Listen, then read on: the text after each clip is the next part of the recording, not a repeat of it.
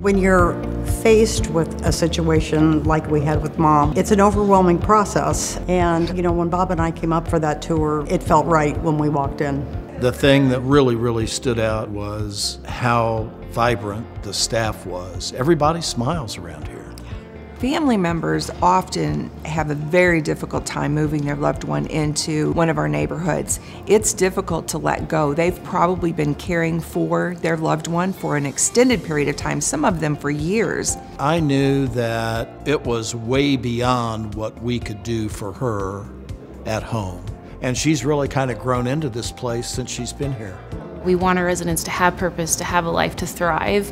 And so we have a great program through our daily rhythms where we follow their circadian rhythm throughout the day. We let our residents get outside. We take them out on outings where they get off the bus. It's not just, you know, a ride around town. They actually get to experience life. They went downtown to see the Indianapolis Indians play a baseball game. Had popcorn, hot dogs. The field trips, the outings, you Yeah. know. And it's nice to have those things offered to the residents. We all need purpose, whether you're going to water the flowers in the courtyard today or maybe feed the fish. What is that little thing that you do that gives you purpose and a reason to get up? And people living with dementia need that just as much as anyone else does.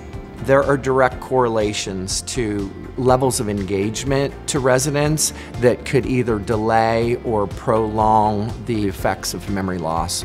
When family members move their loved one in, they are relieved of those responsibilities, that 24 7 care, and then they can come in and visit with their loved one and just spend time doing things that they enjoy. The worries that I had early on have subsided, and I don't have that guilt like I first did with the first onset of coming here. We're passionate, we're committed, we hire good staff, and we train them well so that they can meet the needs of those residents. We find and hear from families all the time, oh, I wished I had done this sooner.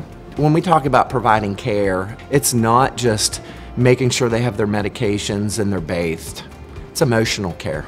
And, and that's hard to measure in any chart, you know, it's hard to measure.